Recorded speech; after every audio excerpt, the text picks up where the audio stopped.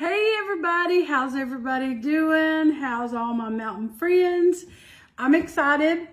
I'm going to make a black walnut cake and this um, is from scratch and I will be sharing the recipe but feel free to follow, get you a piece of paper uh, if you want to and you can jot down uh, the measurements as I go but I will be posting this recipe under photos, under photo albums, and the album is um, titled Recipes, okay?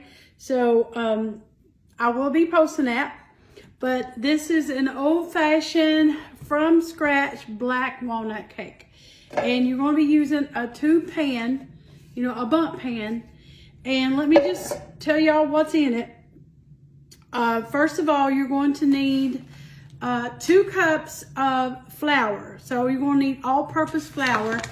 And I use, um, I use Hudson Cream all-purpose because it's very fine, very light. You don't have to sift it.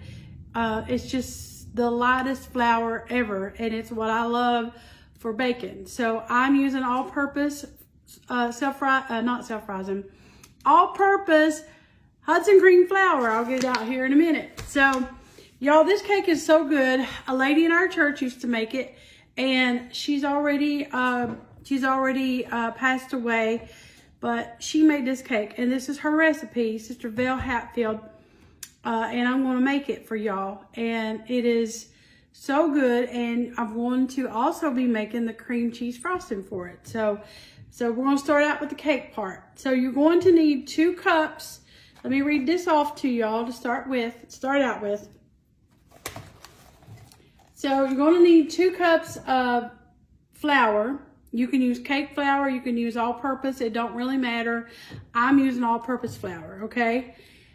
Two teaspoons of baking powder, a fourth a teaspoon of salt, a teaspoon of vanilla, one and a half cups of sugar, regular sugar, white sugar, two-thirds cup of Crisco shortening or vegetable shortening, whatever you have. I'm using vegetable shortening. Three-fourths cup of buttermilk.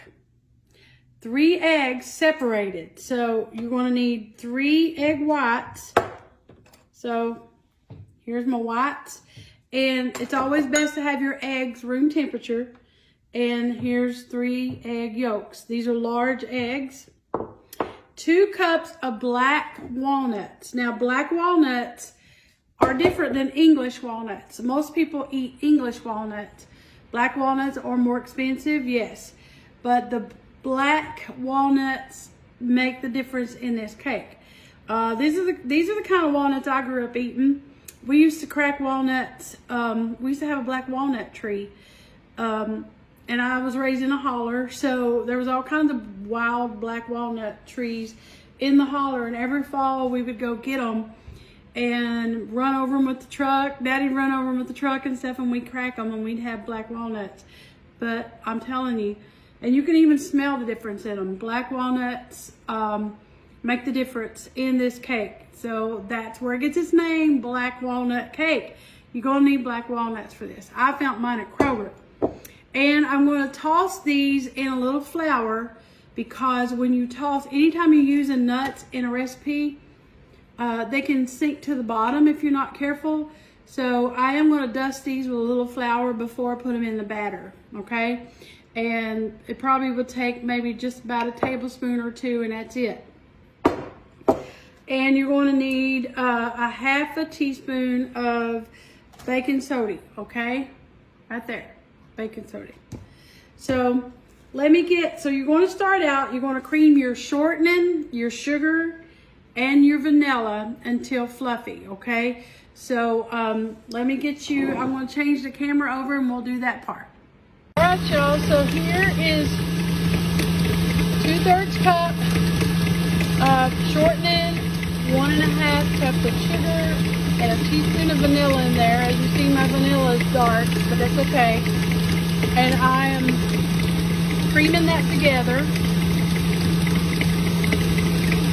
and I'm going to scrape down my sides here so I've scraped down my sides and you can see the sugar and the shortening kind of fluffy. That's what you need. Now you're going to add in your yolks. Try to try to put them in one at a time. Sometimes it's hard to do that. It's okay though. Now the reason you're separating the yolks from the whites, I'm going to be beating the whites to stiff peaks and you're going to fold them whites into this batter.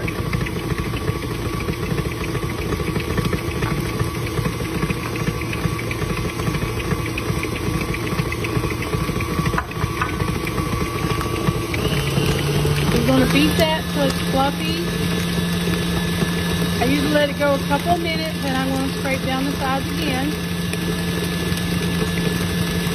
So I scraped down the sides and now I'm going to just go uh, get my dry ingredients ready and then we'll start putting this together and adding the wet to the to the dry. So guys, at this point, um, you want to whip, you're going to beat these egg whites, okay? This is three egg whites and you want, whenever, whenever you're doing egg whites or whipped cream or anything like that, and you're going to be whipping them, you want to use a wire whisk and you want to make sure your bowl is clean, no oil or grease or anything in it. And I'm going to whip these egg whites to stiff peaks. So you want to get that done and have them, have them ready, okay? Also, I want to let y'all know, um, have your oven preheated to 350, okay? Alrighty, now it's turn. It's time for the uh, egg whites to be whipped. You're going to whip these to stiff peaks, and it's always best to make sure that they are room temperature. What I do is just gradually, they get foamy, I start increasing my speed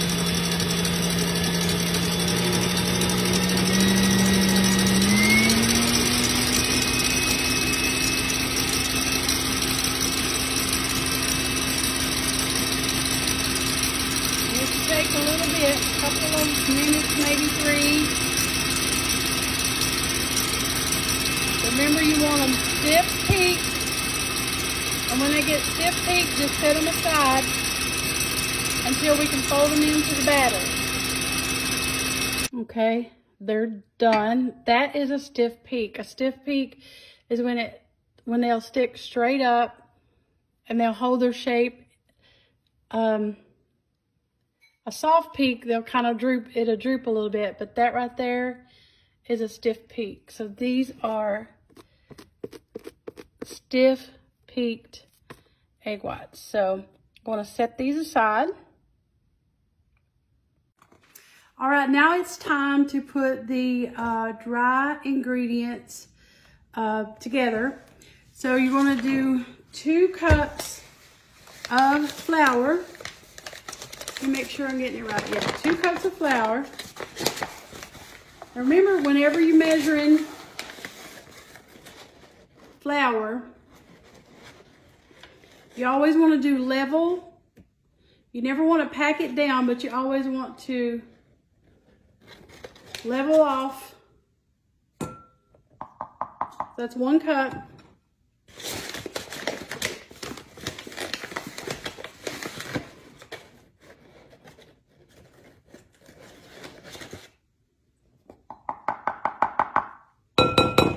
That's two. Oh yeah, let me get a little flour, and I'm gonna get a little flour on the walnuts. Sprinkle them a little bit. And uh, toss them around with your hands. So I'm just tossing them around a little bit. So if you coat, coat them a little bit with your flour, with a little flour, they won't sink to the bottom.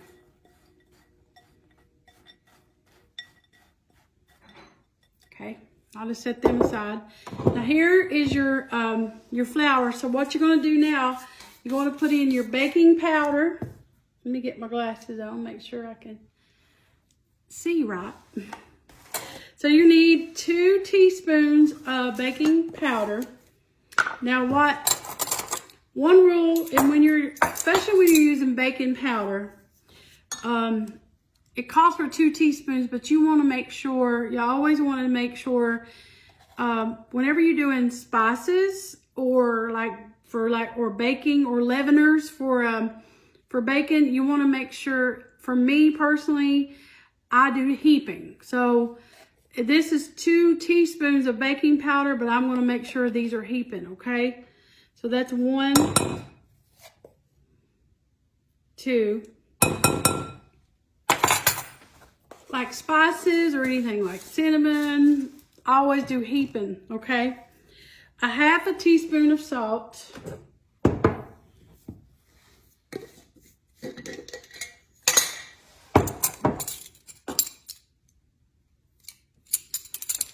And I'm just using pink Himalayan sea salt. You can use whatever salt you have.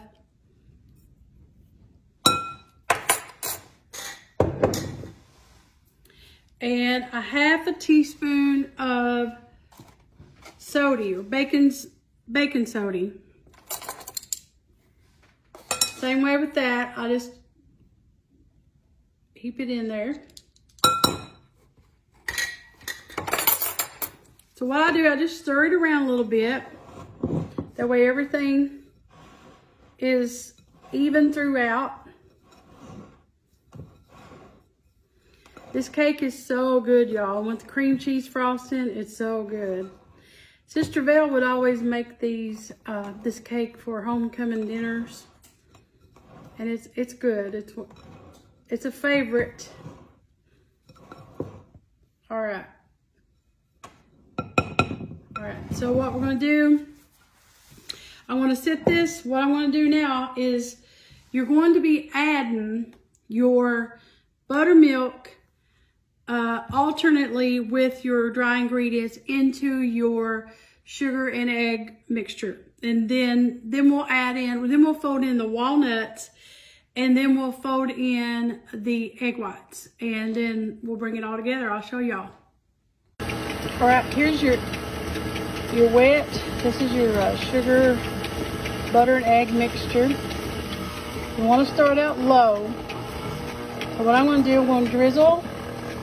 Go ahead and drizzle some of the buttermilk in.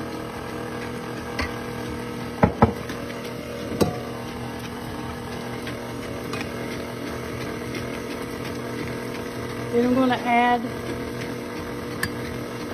the flour mixture in.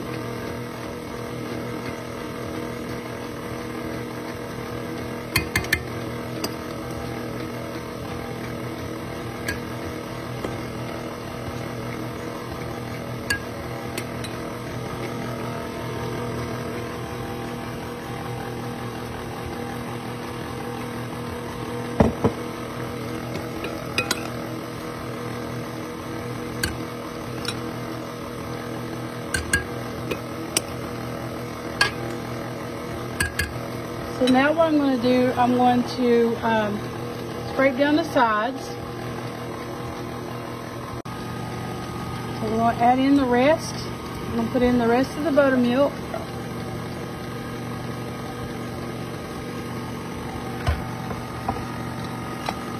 And the rest of the flour.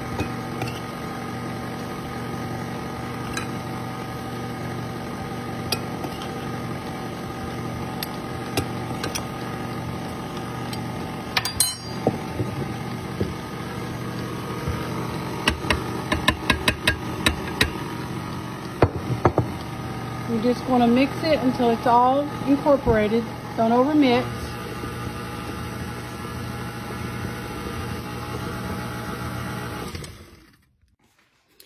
So now we're going to um, grease and flour this pan.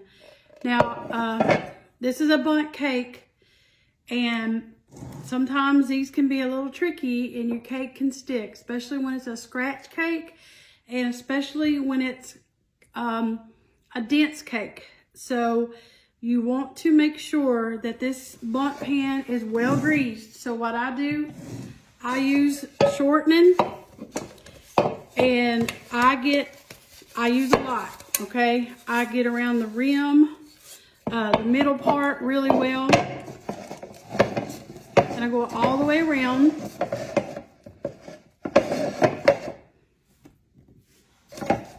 I go all the way up the sides. And where there's a lot of crevices in this kind of pan, make sure you get, take your fingers and go down into the grooves really good.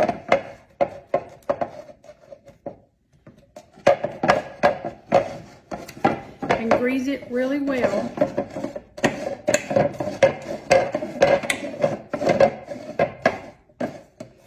A messy job, but it's necessary. Gotta do it, y'all. Gotta do it. You can use butter too if you wanted. Um, it really don't matter. Sometimes you can use butter. Sometimes I do use butter. But for this cake, I'm gonna use shortening. Okay? So let me wipe my hands off.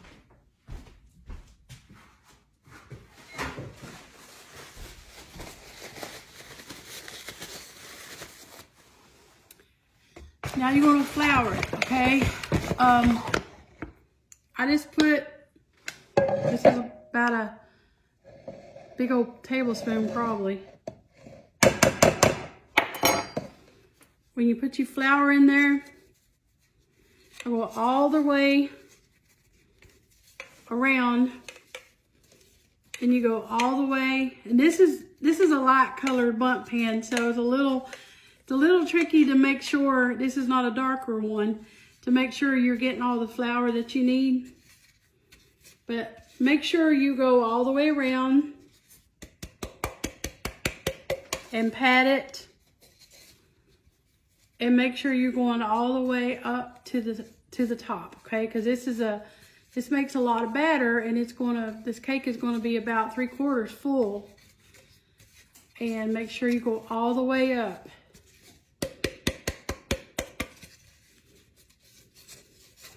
And whatever excess you got, just, I just put mine over the trash can and let the rest of it fall out. Okay.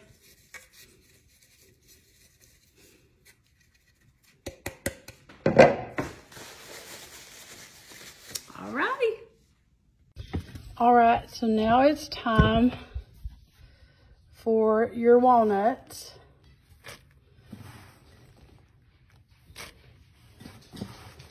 So what I do is just put them in my hands and kind of shake a little bit of that excess flour off of them. I'm going to throw them all in there and then I'm just going to put my um, my mixer on low. And I'm just going to mix the batter just enough to get my walnuts um, mixed in. Just going to mix them long enough to get the walnuts throughout the batter.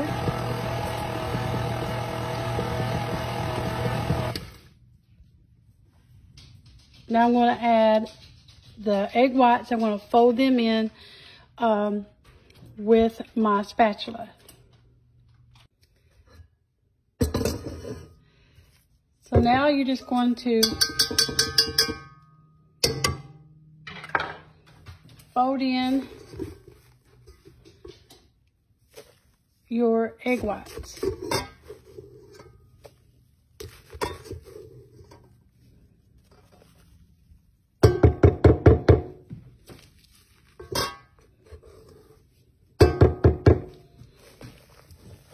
And you're just going to fold them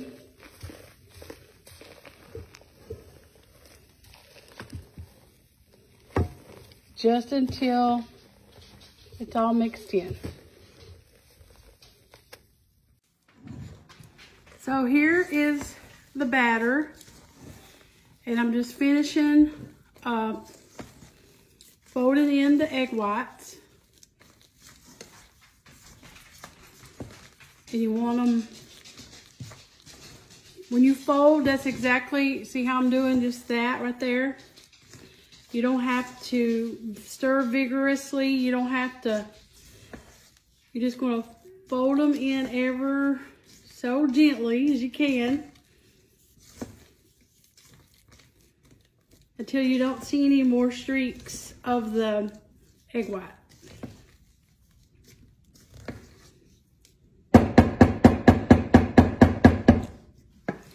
So now it's time to put it in the pan.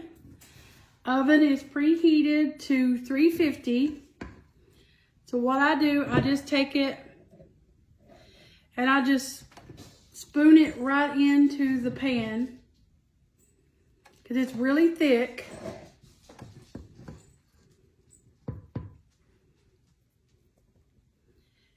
And when I get it all in, I take like a knife and I, um, I spread it out, make sure it's all in there even.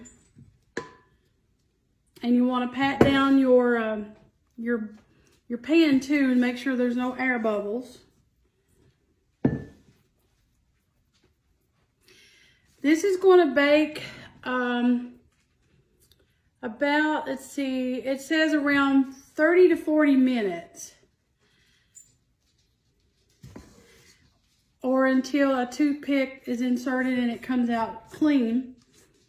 So what I'm going to do, I'm going to check it after about 30 minutes because I don't want it to overbake.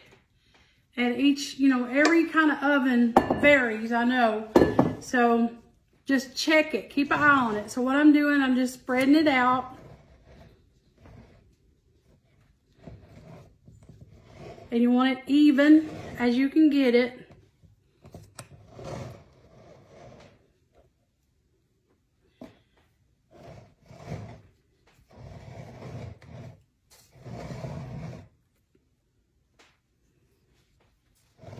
Okay, looks pretty even to me. And just tap it down a little bit, give it a gentle shake.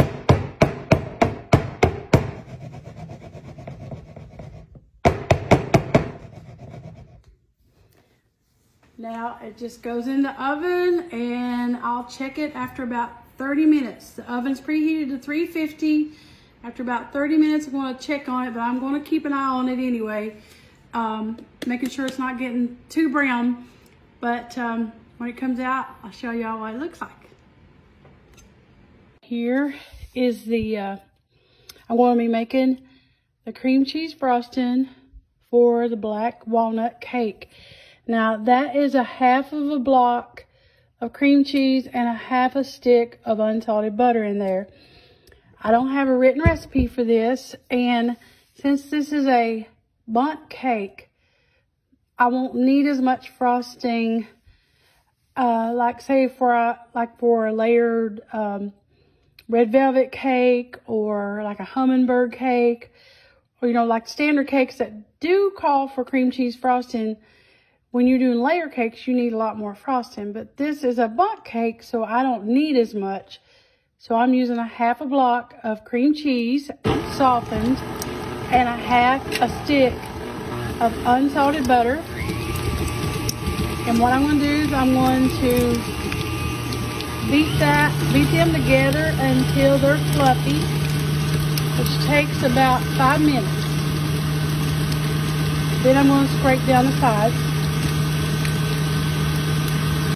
good and fluffy. And what I'm going to add now is um, I'm going to put about three cups of powdered sugar in here. So just watch. So um, when it comes to frosting, as long as you have the right combination of stuff, if you can pretty much make it taste good. If it's too thick, just add a little more, more milk or um, you can always modify to make your frosting so you know, if you don't get the exact measurements, I don't use exact measure measurements when it comes to frostings because I've just made them so much through the years. I've just, I just eyeball everything. So, but I will say you're going to need, when you make this, use either half and half or heavy cream. You can use whole milk.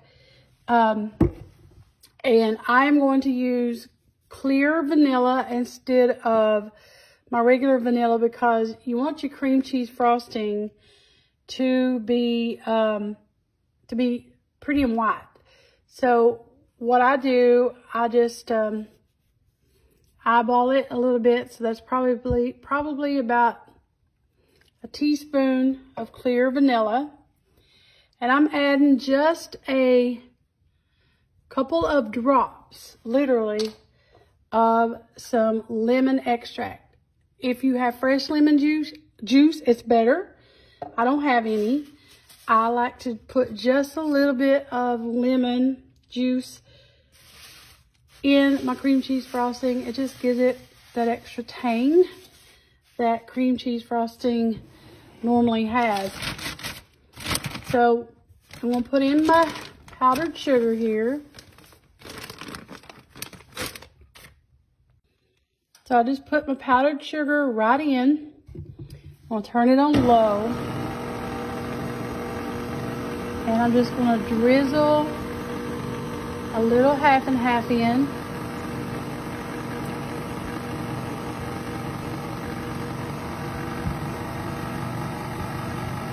And remember, if you put in too much liquid and it gets too thin, you can always add in a little more powdered sugar. It's going to need more liquid.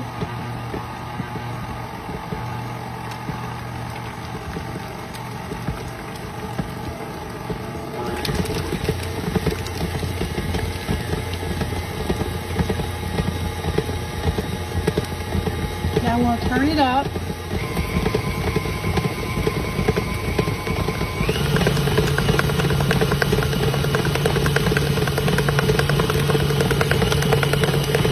Now I'm going to let that go for just a, a little bit. I'm going to check it. I y'all to see cream cheese frosting won't be fluffy and or dense like regular buttercream frosting. Cream cheese frosting is going to have a silky, smooth texture, kind of like a little sheen to it. Um, so what I do at this point, I just let it, I beat it for about probably five minutes doesn't need any more liquid, doesn't need any more powdered sugar. And when we come back, I'll show you all the consistency of it. Over here, the light's a little better. I want to show you all what cream cheese frosting should look like. See, it's really smooth. And it's spreadable, and it's spreadable to where you can do swirls, make it look pretty ever how you want to make it look. And cream cheese frosting usually isn't used for like piping or anything. It's just, you just swirl it, but it should be silky and smooth. And it should have like a little sheen to it. See, look at that. Nothing better than cream cheese frosting. Now this can be used, it's so good on um, cinnamon rolls. You can put it on uh, cinnamon biscuits.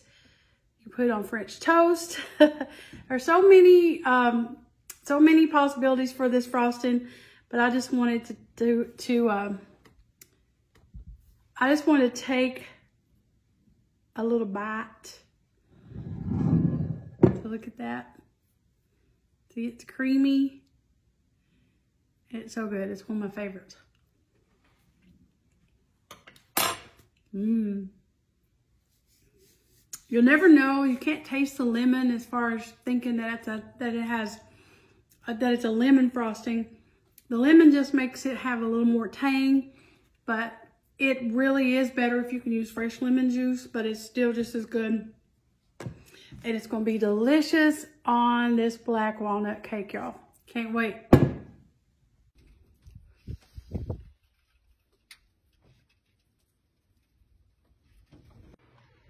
All right, the black walnut cake is done. And the toothpick or the skewer is clean. So what I did, uh, at 30 minutes, I checked it. It was still a little jiggly. So I set the timer and I let it bake about 10 more minutes. And it is beautiful and brown on the top and it is done. And if you can see it's already pulled away from the edges. That's another good sign that it's done. So I'm going to let it cool probably about 20 minutes and then I'm going to flip it out um, on my cake pan all right y'all we're to turn this cake out on this is my this is my cake pan, well, my bottom of my cake, um, my cake container. And turning cakes out can be tricky. So uh, I also want to let you know, make sure you take a sharp knife and you go around the edges of your cake and round the middle too. And that way it lets loose a little bit where it needs to let loose at. Um, and before you turn it out, always run a knife around um, the edge to help loosen the cake. So what I do, I just go ahead, let's see, what I'm gonna do is I'm gonna go ahead and put the cake in my hands like this.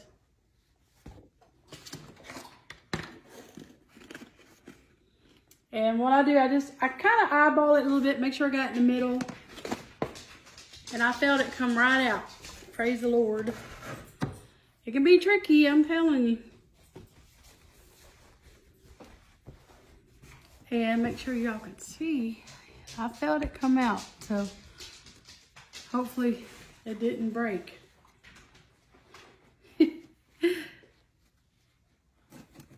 You just lift it up.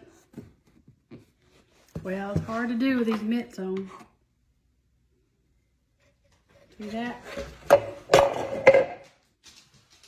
Mm, mm, mm. I can smell the walnuts. Now it's off centered a little bit, which is fine. I can move it. Mmm, so good. Now, as you can see, you can see a little bit of the flour on top. When uh, it cools off just a little more, I'm to take my pastry brush and just brush that off a little bit, which is no, no problem. As you can see there, when you uh, grease them real good and flour them, it ain't gonna stick. And if you see, let me show you. Look in the bottom of the pan here. You can see didn't stick at all. Yay!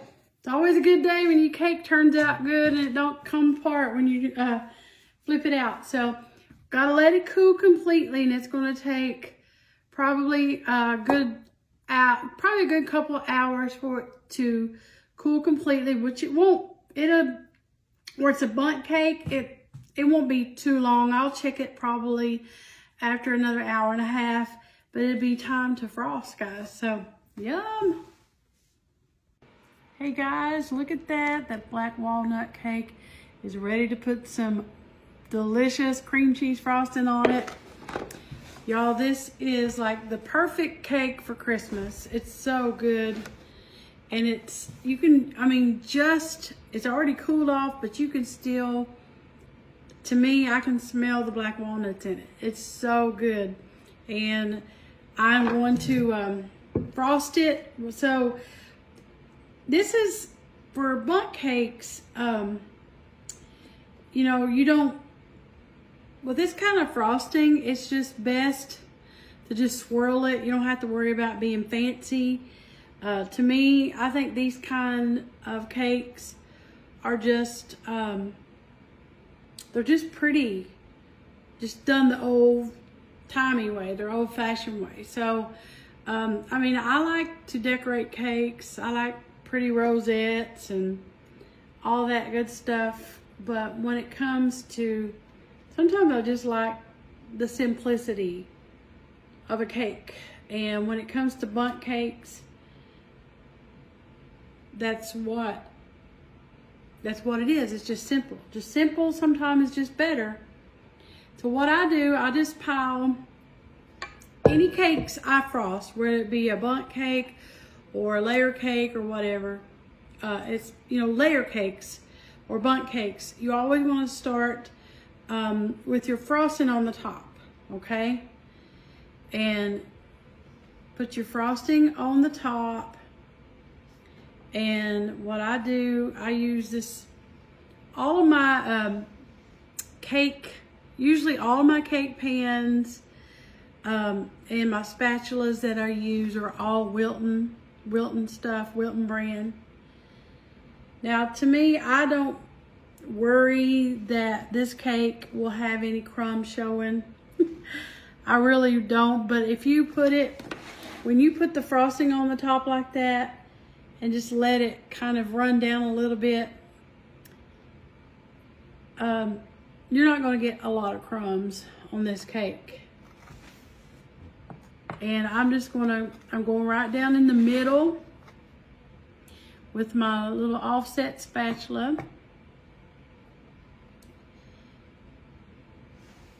And you're just gonna make it, you're to make some beautiful swirls in this cake. What I do, I just take it and go all the way around. Now I prefer cakes. I prefer cakes. I don't like cold cake, okay? I like um, room temperature or warm cakes. Now sometimes you can't always have warm cakes. Most warm cakes are don't have frosting on them, but um, I don't like a cold cake, okay? For me personally. You can put this in the refrigerator for several days if you want to, then get it out and serve it room temperature. Or you can um, serve it cold, ever how you want to. But I like a, I just want to show y'all how I do this. But I like a room temperature cake. So you're just going to go all the way around with your frosting until it's all the way down to the edge. Now I will be uploading the video, uh, not the video, I will be uploading the, um, the recipe. Just go under photos, go under albums, and you will see this cake recipe. I'll, uh, I'm to take a picture of it just upload it right out of um, right out of my book. And for the frosting, just go back and watch the video and you'll see how I made the frosting, okay? I don't, I won't have like a really, a written recipe for the frosting. But it's really not difficult at all. The frosting really is um, quite easy. It's a real good, easy frosting. So I'm just going to continue to get this done here. And when it's, uh, I'm to finish it all. Then when I come back, I'll show y'all what it looks like. All right, guys, look there. Black walnut cake is good. It's already, we've already been cutting into it. so there you go. It's sliced. You can see in the middle of it how dense it is. It's very good. Look at the delicious, creamy frosting on it.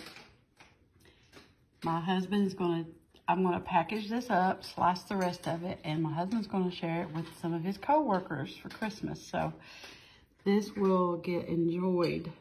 Delicious black walnut cake. There's what it looks like when it's all, you can see the good walnuts in it. It's so good, y'all. Thank you for watching Mountain Cooking with Missy. Where it's nothing fancy, just good eating.